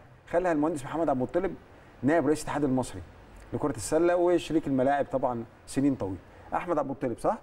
وأحمد كمان عبد المطلب لاعب نادي الأولمبي ولاعب نادي سموحة ولاعب نادي الاتحاد. خالها الثاني فهي اذا من عيلة كلها كرة سلة. ما لعبتيش سلة ليه؟ والله صراحة أنا كان نفسي في الأول. كان نفسك؟ وأنت. صغيرة. آه. مين اللي قال لك لا؟ أحمد. ده اللي كده هو ودي اللي كان اوري له هو المشكلة إن أنا يعني كنت بروح معاه النوادي كتير والتمارين. خلي بالك. آه ما شاء الله. لا عايز أقول لكم لا بسم الله ما شاء الله طويلة. أنا كنت بروح معاه التمارين كتير وكده. بحب أتفرج أصلا على. التمرين. فكان المدربين لما بيعرفوا السن مع الطول ف هاتها. آه. يقول لك هتخش التمرين. آه. ويقول لك لا. هو كان بصراحة هو لما شاف إن أنا كنت بدأت أحقق في اللعب عندي فما حبش إن أنا يعني آه، آه الاتنين. أتشتت ما بين آه. الاثنين آه، آه. بس عايز أقول لك على حاجة إحنا نشكره مش هنزعله مش هنزعله هو ادانا بطله أفريقيا. فاحنا مش زعلانين صح ولا لأ؟ آه أكيد. هنشكر كابتن أحمد ونقول له يا كابتن بعد كده وما تخليش حد من عيالكم خالص يلعب باسكت. عشان بص نرتاح بقى. ما انت عارفه الاتحاد والأهلي كده. أيوة، دايما بيلعبوا. منافسين دايما. صح. فاحنا نحاول بقى ناخدها من الأول. العيلة بقى اللي بتطلع لعيبة نخليهم يروحوا تنس الطاولة.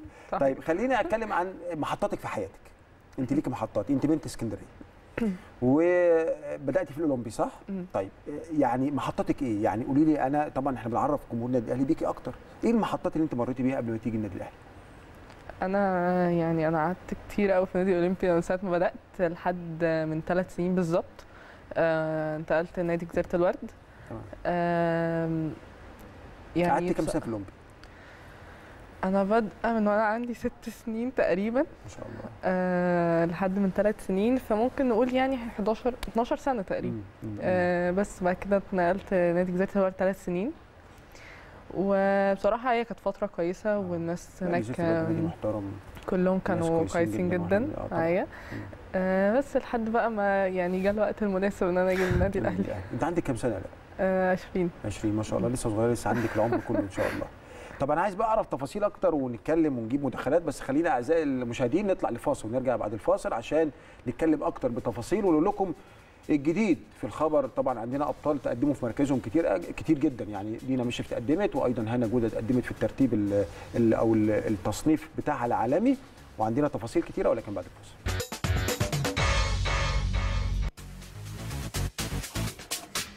أهلا بحضراتكم من جديد. آه، زي ما قلت لحضراتكم انه بطولات أفريقيا آه، أو بطولة أفريقيا اللي فاتت اللي تلعبها منتخب مصر ولسه عارف من ضيوفه كابتن عادل شرح لي يعني في الفاصل إنه بيبقى ليها ويت كبير أو ليها وزن كبير في اللاعبات آه، في ترتيبها أو الرانك العالمي بتاعها.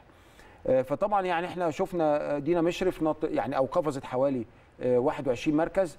بقت في المركز 29 أيضا هنا جودة بقت في المركز 42 سيدات وفي الأول 19 17 15 الاء يحيى ضيفتنا في الاستوديو النهارده بعد بطولة أفريقيا قبل البطولة كانت 170 دلوقتي قفزت 15 مركز مرة واحدة طبعا فده يعني يعني وثبه كبيرة 155 مركز. فطبعا لازم آه، يعني ما يجيش حدث زي ده لما يكون طبعا معانا آه، على التليفون لاعبتنا اسطورتنا الكبيرة آه، دينا مشرف عشان طبعا نبارك لها على أفريقيا وأيضا نبارك لها على الرانك العالمي الجديد كأول لاعبة أفريقية وعربية تصل لهذا آه، الترتيب. أهلا بيك يا دينا. دينا إزيك؟ الحمد لله. ألف ألف مبروك وطبعا حاجة تسعدنا جدا النتائج في أفريقيا وأيضا الرانك العالمي ليكي. يعني كلميني وشعورك إيه؟ آه، ميرسي جدا. الله يبارك فيك. الأول بس عايز أسلم على كابتن عادل وعلى الاء الله يخليك يا يوصل. هم سامعينك. الحمد لله. والله طبعا أكيد مبسوطة جدا بالبطولة اللي فاتت يعني الحمد لله. آه يعني ربنا وفقني فيها الحمد لله. وطبعا أكيد برضه مبسوطة جدا بالتصنيف يعني الحمد لله. ده أعلى تصنيف وصلت له فالحمد لله مبسوطة جدا بيه. طب دينا لعبك في أوروبا اضاف لك؟ يعني لعبك في ألمانيا وفرنسا ضاف لك؟ آه طبعا طبعا الحمد لله. يعني آه، أنا كنت هناك أساسا. يعني الهدف من إن أنا أروح ألعب هناك هو ال- الاحتكاك وإن أنا آخد خبرات كتيرة. يعني عشان هناك كل اللعيبة جامدين جدا من أوروبا وفي كمان كان لعيبة اسيويين فالحمد لله أعتقد إن ده حصل. يعني لعبت ماتشات كتير قوي هناك جامدة مستواها عالي. فالحمد لله أكيد استفدت من التجربة دي كتير. يعني الحمد لله. طب دينا يعني ال- ال- اللاعب الناجح دايما ليه طموحات وما بيشبعش نجاح؟ إيه اللي نفسك تحققيه تاني؟ آه والله يعني نفسي إن شاء الله إن أنا أحاول أتحسن يعني أكتر كمستوى. ده مبدئيا لأن إن شاء الله ده ممكن يساعدني بقى في إن أنا أحقق أهدافي اللي هي إن أنا أعلي التصنيف العالمي بتاعي أكتر. نفسي إن شاء الله إن أنا أكون الخطوة الجاية في التوب 20 آه، في أحسن 20 لعيبة على العالم إن شاء الله. ونفسي كمان إن في يوم من الأيام إن شاء الله أكسب ميدالية كبيرة لمصر يعني زي مثلا كأس عالم أو أولمبيكس أو بطولة عالم إن شاء الله. لا وإن شاء الله هتعملي كده وأكيد أنت مك- مكافحة مثابرة. طيب الخطوة اللي جاية إيه بقى يا دينا؟ يعني دلوقتي خلاص أفريقيا صفحة واتقفلت والحمد لله آه، توفقنا فيها بشكل كبير. أكيد عندك بطولات دولية تانية عندك خطوات تانية حطها في أجندتك. إيه اللي عندك تاني على المستوى الدولي؟ هو إحنا ان شاء الله اول حاجة عندنا بطولة العالم في الصين فرق. آه. دي خلاص كمان أسبوعين ان شاء الله مسافرين أو يمكن أقل. فدي اول حاجة. غير بقى البطولات الدولية اللي هي ال WTT بيحطها الاتحاد الدولي بيحطها بتبقى على طول يعني تقريبا كل أسبوع أو حاجة في بطولة. ف كلها طبعا بت... بتأثر على التصنيفه كلها مهم إن الواحد يحاول يشارك فيها على قد ما يقدر. بس يعني آه، دي الحاجات القريبة إن شاء الله. طيب بطولة الصين هي بطولة العالم للفرق صح؟ آه مظبوط. إحنا يعني بتستعدوا دلوقتي يا دينا يعني دلوقتي معسكرين ولا مريحين شوية من بعد بطولة أفريقيا؟ يعني كام يوم راحة كده آه، كان لازم عشان آه، طبعا. يعني ضغط البطولة وكده. وإن شاء الله المفروض هنبدأ على طول معسكر منتخب من يوم السبت اللي جاي إن شاء الله. طب اتحدد اللي سافر يا دينا مين مسافر ولا لسه القايمة النهائية ما اتعلنتش آه لا اتحدد يعني أربعة في البنات وأربعة في الرجال. طيب ممكن تقولهم لنا دينا؟ في البنات إن شاء الله هبقى أنا وهنا بوده ويسرا أشرف حلمي ومريم الهضيبي. وفي الولاد في محمد البيلي آه، شادي مجدي يوسف عبد العزيز آه، وفي حد رابع آه شومان تقريبا أنا شومان آه. مش متأكدة من الرجال طيب طيب طيب إحنا آخر بطولة شاركنا فيها كانت إيه؟ كان ترتيبنا إيه يا دينا؟ آه، هو إحنا آخر بطولة عالم لينا فرق آه، اللي حصل إن إحنا كانت أول مرة أساسا مصر تشارك في division 1 اللي هو يعني أعلى آه تصنيف للبطولة. آه، بالظبط آه بالظبط. آه، وده كان ساعتها يعني حاجة أول مرة تحصل في التاريخ. آه، ساعتها إحنا آه، يعني كانت ماتشاتنا جامدة شوية ففي ديفيجن 1 ده يعني ما توفقناش في المجموعة ما تأهلناش للمرحلة اللي بعد كده. ممتاز. المرة دي النظام اتغير بقى خالص يعني بقى أساسا اللي بيشارك في بطولة العالم 32 فريق بس. وإحنا كويس. الحمد لله من ضمنهم والحمد لله كمان مصنفين ال 11 في وسط ال 32 فريق دول. فيعتبر تصنيف المرات دي أعلى من أي مرة يعني أعتقد. طيب برضو يا دينا أنا برضو عايز يعني يعني برضو أكلمك على البطولة في الجزائر. يعني إحنا يعني الفترة اللي فاتت كان في بطولة بحر متوسط في الجزائر وأيضا بطولة أفريقيا اهي في الجزائر وكان في مساندة كبيرة من الشعب الجزائري. ده لمستيه يعني هناك يا دينا ولا إيه؟ آه طبعا. لا يعني فعلا في المرتين زي ما حضرتك قلت آه، ال- الجمهور كله بصراحة يعني بيشجعنا ومعانا قوي. حتى يعني مش بس وإحنا بنلعب الماتشات سامعين تشجيعهم وكده يعني هم عموما حتى لو إحنا محتاجين أي حاجة فعلا الناس والمنظمين وكده بيساعدونا ويعني لطاف جدا معانا. وفعلا بجد ده فرق معانا يعني. الروح كانت حلوة قوي هناك والواحد كان مبسوط يعني الحمد لله. أكيد ده طبعا يعني حاجة تسعد.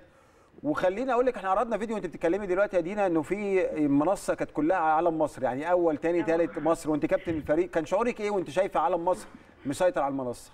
لا هي حاجة طبعا مشرفة جدا يعني آه، الحمد لله. إحنا يعتبر كده مسيطرين على القارة الأفريقية الحمد لله. طبعا هو المنافس الأساسي لينا نيجيريا. آه، نعم. يمكن البنات مرادي السيدات بتوع نيجيريا ما كانوش متواجدين. آه، بس إحنا الحمد لله يعني برضو بقالنا كذا سنة وحتى وهم متواجدين إحنا آه، يعني آه، في المراكز الأولى الحمد لله. أكيد يا دينا واكيد أكيد شعور جيد وأكيد بنبارك لك على يعني طبعا على الإنجازات في أفريقيا وأيضا الرانك العالمي ونتمنى لك كل التوفيق. دينا مشرف نجمتنا ونجم تنس الطاولة بالنادي الأهلي ومنتخب مصر وكابتن منتخب مصر. بشكرك شكرا جزيلا. يمكن ألاء برضو لما بتتمرني مع مجموعة كبيرة و... ولمجموعة لاعبات بالشكل ده أكيد يعني يعني يعني أقول إيه أحسن إعداد لأي لاعب صح ولا لأ؟ أكيد طبعا. يعني مع النادي الأهلي الفترة الجاية أكيد أكيد هينقلك بقى لحتة ثانية إن شاء الله. وجودك شايفة ده ولا لأ؟ أنا شايفاه جدا بجد الفترة اللي فاتت اللي أنا يعني بدأت فيها في النادي حسيت بفرق يعني الروح أصلا هناك فعلا هي حلوة وأنا مرتاحة وأنا بتمرن فعلا. هناك. والموضوع بسيط وبقيت فعلا يعني عايزة أروح دايما. طبعا. يعني صبح وبالليل ولا التمرين حلو طب, طب قولي لي أنت أنت اسكندرية وجيتي القاهرة. طب الترانسفير ده هتعمليه إزاي يعني؟ هل مثلا دراستك عملتي فيها إيه؟ هل خلصتي دراسة؟ يعني كلميني على الظروف المحيطة بالانتقال ده. هي ما كانتش أسهل حاجة بس أنا يعني دلوقتي تانية جامعة داخلة تانية. يعني هكمل السنة دي عادي في اسكندرية. ممكن السنة الجاية أشوف لو هحول أو أي حاجة. بس أنا يعني آه، قادره توفقي. قادرة أوفق. وإن شاء الله يعني آه، بحاول قد ما أقدر إن أنا أفضل في القاهرة عشان أستفيد بتمرين النادي الأهلي. طبعا. طبعا لأن ده أنا متوقع إن شاء الله سنة أو اتنين هيحطك في حتة ثانية لأن الكابتن عادل نفسه بيقول دلوقتي إن إحنا بنغير في التمرين. أنا شايف إن ده أنا عايزك اتمرن يا كابتن. أنا عايز أنا ممكن أنا ممكن أبقى حاجة ثانية أنا عارف حضرتك بتت- بتتمرن أصلا آه. لا بس هو بس بس لما أتمرن مع لعيبة كده يعني جامدة والمستوى واللي داخل واللي طالع وكل ترابيزة هتلاقي عليها نجوم كبار. بيتمرنوا. بجد يعني يعني حاجة يعني منظومة يعني أكيد أي لاعب يتمنى يبقى فيها لأنه طبعا يحب يعني مستوى يعني. حضرتك. تخيل كده مثلا لو بتتمرن على طاولة وجنبيك مثلا سيد لاشين ولا محمد. البيلي ولا شادي ولا خالد عصر ولا شومان ولا ودينا مشرف وهنا جودة ونادين الدولاتلي وساره الحاج يعني ساره الحاكم على فريدة. والاء جت أهي والاء ورؤى. الناغي. فالتمرين بيبقى شادد. يعني هي منتخب الت- مش نادي. بالظبط. آه، بالظبط. منتخب يعني انت حضرتك لو بصيت لقوام المنتخب في في السيدات ولا في الرجال آه كلهم طب خلينا نقول للسادة المشاهدين أنا عارف عارف مين اللي راح من عندنا المنتخب بس خلينا نقول مثلا نبتدي بالسيدات. بالسيدات. كم لعيبة شاركت من عندنا في المنتخب من نادي ال- الأهلي؟ عندنا ثلاثة دينا مشرف آه، هنا جودة آه، آلاء آه، واحد من حد من الزمالك اللي هي يسرا أشرف وحد من بتروجيت آه، مريم الهضيبي تمام. كانت عندنا في اللي كانت عندنا تعتبر بالظبط بنت كده، الأهلي آه، معلش بنت الأهلي آه طبعا. آه يعني نقول أربعة أهلي بالظبط كده آه. آه آه، في الولاد آه، يعني إحنا بنتكلم في حوالي 80% من قوام. السيدات الأهلي طب نروح للرجال الرجال كان في محمد البيلي كان في محمد شومان آه، كان في. عمر عصر خالد عصر الاربعه وأحمد علي من الزمالك يعني بنتكلم برضه 90% من منتخب مصر. بالظبط. يعني أنا بس عايز أوصل لحضراتكم كابتن عادل مشكورا وضح لي 90% من منتخب مصر للسيدات من النادي الأهلي و90% من منتخب مصر الرجال من النادي الأهلي. هنا النادي الأهلي بيقدم يعني ابطاله ونجومه وبيدعم منتخب مصر بالكوادر مش بس اللعيبة المدربين كمان. مدربينا بيدعموا منتخبات مصر بشكل كبير عشان نوصل للعالمية. خلينا نطلع للفاصل أعزائي المشاهدين ونرجع بعد الفاصل نكمل كلامنا مع كابتن عادل والاء ولكن بعد الفاصل.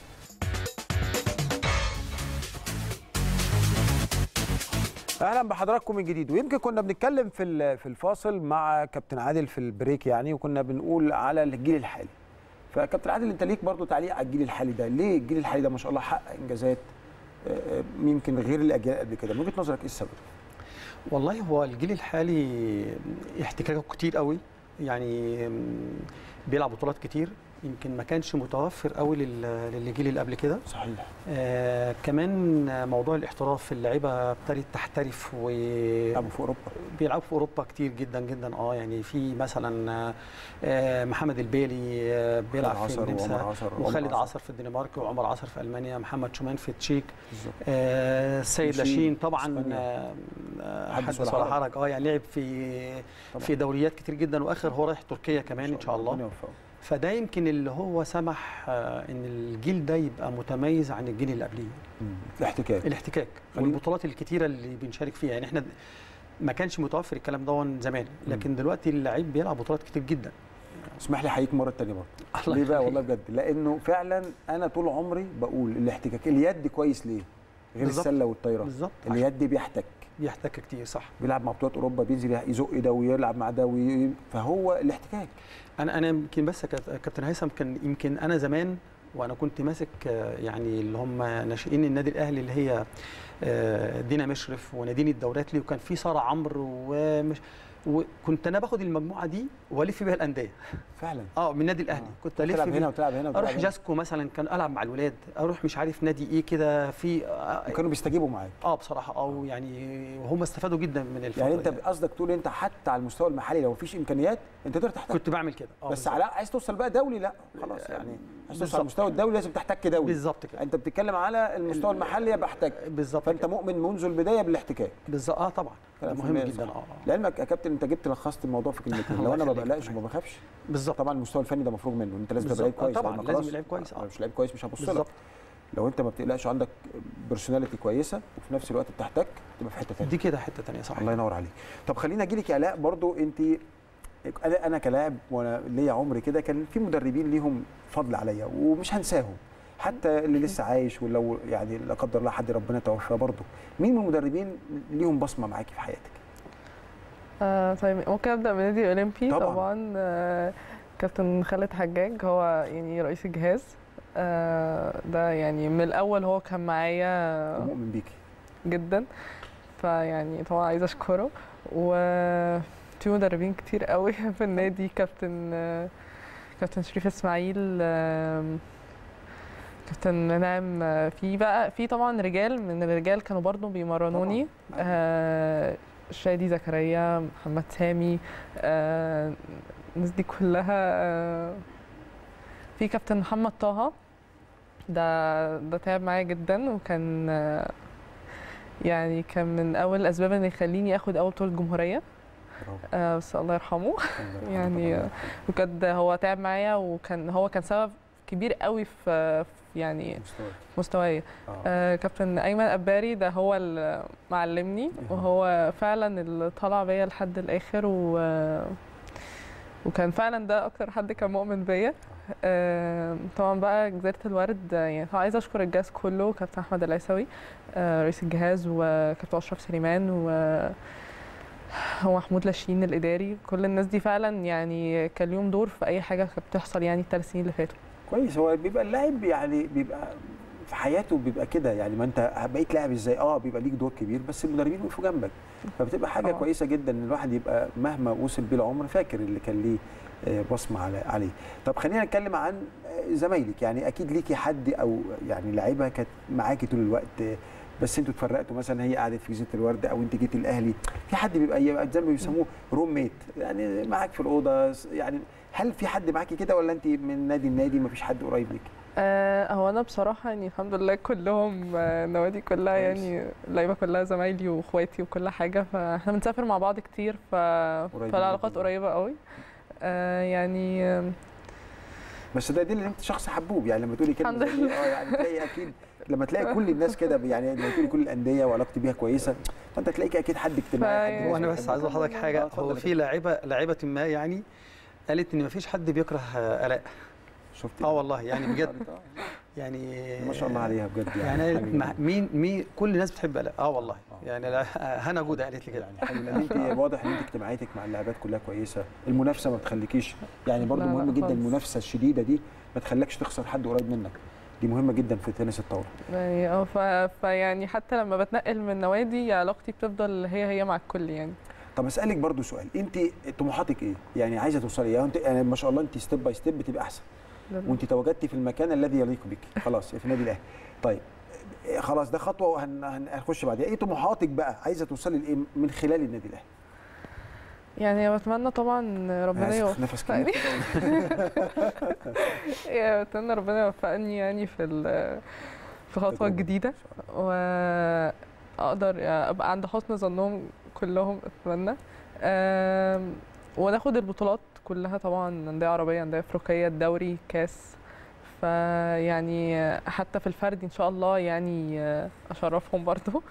فيعني الأهلي خطوة كويسة جدا. أنت عايزة تبقى أحسن في كل كل الاتجاهات. بالظبط. البطولات وال- والفردي وكل حاجة. عايزة تبقى أحسن في كل حاجة. بالظبط. وهتبقي إن شاء الله. يا رب إن شاء الله. هتبقى إن شاء الله. طب كابتن عادل يمكن ما ينفعش حضرتك معايا ما نتكلمش بقى عن الموسم والاستعدادات والدنيا ماشية إزاي ورايحين لفين وإيه الاستعدادات وإيه البطولة هل في بطولة عربية هنشارك فيها ولا لأ؟ بطولة أفريقية. يعني كلمني عن الموسم بقى شكل البطولات وشكل الموسم هيبقى شكله إيه.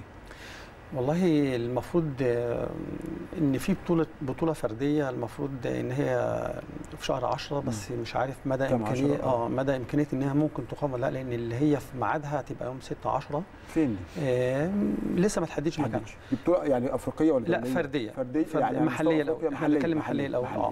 آه لأن المنتخب هيبقى في ال- في بطولة العالم هيرجع من 8 10 فمش عارف بقى هل.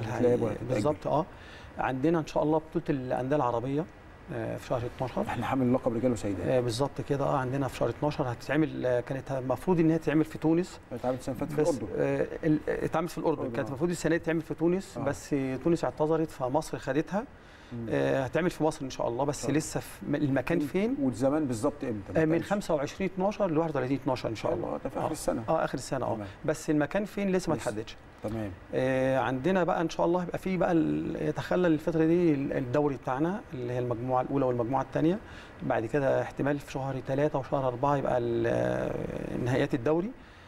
في شهر 6 إن شاء الله 23 آه 6 23 آه احتمال كبير جدا بطولة الأندية الإفريقية تتعمل والنادي الأهلي يعني ممكن تتعمل عندنا إن شاء الله في دي النادي نسختها الأهلي. الأولى ولا ولا لا. قبل كده ليها نسخ؟ بس أنا أول مرة أسمع بطولة الأندية الأفريقية لا لا لا لا لا اتلعبت. والسنة السنة اللي فاتت آه، نادي إنبي من مصر خدها. آه، السنة دي المفروض إن هي هتتعمل وإن شاء الله احتمال كبير جدا ان هي تعمل في النادي الأهلي إن شاء الله في شهر 6 أو إن شاء الله. يعني أنتوا بتفكروا تجيبوها النادي الأهلي بالظبط كده آه، إن شاء حلو الله. جدا. طب هو بيبقى في الأندية الأفريقية مين أكبر أكبر منافسين؟ هي الأندية المصرية برضو ولا بنلاقي انديه في لا نيجيريا في لا؟ في في نيجيريا طبعا في أندية من نيجيريا في من الجزائر آه، من مصر طبعا بقى يبقى في الأهلي في الزمالك في إنبي. آه، دي هتبقى منافسين في في الرجال. آه بنفكر والسيدات برضو في السيدات. آه بالظبط كده. في السيدات هيبقى برضه إن شاء الله. طيب خلينا برضو يا جماعة أعرضوا لي الجدول كده بتاع بطولة أفريقيا اللي فات اللي إحنا كنا شفناه ده اللي هو بتاع الميداليات. لو ينفع نعرضه للسادة المشاهدين عشان نقول لحضراتكم حجم التفوق المصري الواضح اللي كان موجود في بطولة أفريقيا. يعني طبعا إحنا بنتكلم بطولة أفريقيا بطولة أفريقيا والإنجازات. طيب أدي الجدول قدامنا أهو. مصر الرقم يعني في المركز الأول سيبوا لي الجدول بس أشرحه واحدة واحدة. مصر ب 14 ميدالية. ستة ذهب الاء اللي معانا في الاستوديو معاها ميداليتين منهم. ستة ذهب خمسة آه، فضة ثلاثة برونز. يجي في المركز الثاني نيجيريا.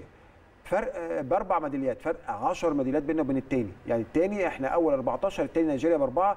ال- ال- نيجيريا واخدة واحد ذهب وصفر آه، silver مفيش فضة وثلاثه برونز. يعني أربع ميداليات. نخش بقى على الجزائر شقيق. ست ميداليات بس للأسف ما فيش منهم ذهب. عشان كده نيجيريا واخدة عليها مركز تاني. واخدة طبعا الج- الجزائر واخدة واحد فضة. وخمسة برونز. هنخش بعد كده على تونس الشقيقة برضو في ثلاث ميداليات واحدة فضة واثنين برونز. نخش على موريت آه، موريشيوس أنا آسف. آه، ميداليتين اثنين برونز. نخش على كوت ديفوار آه، واخدة ميدالية واحدة برونز. ومصر طبعا الفرق بينها وبين الثاني 10 ميداليات بفرق خمس ميداليات ذهب بيننا وبين نيجيريا. إحنا ستة ذهب. وبالمناسبة أول وثاني بس هم اللي جايبين ذهب. الثالث والرابع والخامس والسادس ما جابوش دهب. دي نتائج بطولة أفريقيا اللي لع- لعبتها مصر اللي كانت في أرض الجزائر الشقيقة واللي اتلعبت من 9 سبتمبر حتى 22 وطبعا دي النتائج زي ما حضراتكم شايفة تفوق واضح للفرقة المصرية. و90% من المنتخب أهلي للرجال و90% من المنتخب سيدات أيضا أهلي. آه، خمس لاعبات آه، رجال آه، سي- سيدات وخمسة رجال. طيب الاء يمكن دخولك النادي الأهلي وحضرتي تمرين بقى في الصالة وشفت الدنيا وحضرتي يعني أول ما دخلت صالة النادي الأهلي أنت لعبت عليها قبل كده طبعا بس أنت داخلة دلوقتي بشكل إن أنت يعني لاعبة. حسيتي بغربة ولا حسيتي ان الدنيا تمام؟ هي كانت أول مرة أخش صوت النادي الأهلي خالص. فعلا دي أول مرة ما آه، لعبتيش. آه لا ما جاتش ليها فرصة. رهبه ولا حسيتي ما حسيتيش بغربة؟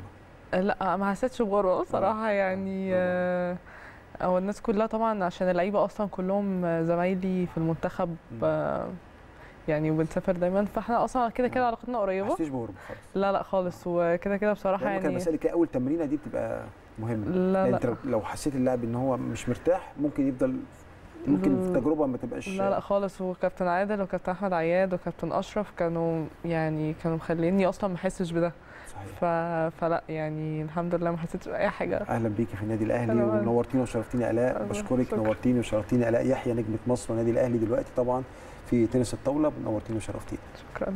كابتن عادل طبعا متألق دايما واللي استفدت منك النهارده. حبيبي يا آه، كابتن النهارده ربنا استفدت. منك بصراحة والله. تسلم يا كابتن عادل. شبران المدرب العام لسيدات تنس الطاولة بالنادي الأهلي. بشكرك نورتيني الله. يخليك يا كابتن هشام ربنا يخليك أعزائي المشاهدين دي كان حلقتنا النهارده عن تنس الطاولة. طبعا اتكلمنا في كل حاجة وشفنا الإنجاز الكبير اللي حققته مصر في بطولة أفريقيا اللي فاتت. بشكركم شكرا جزيلا على حسن المتابعة وإلى حلقة جديدة مع الأبطال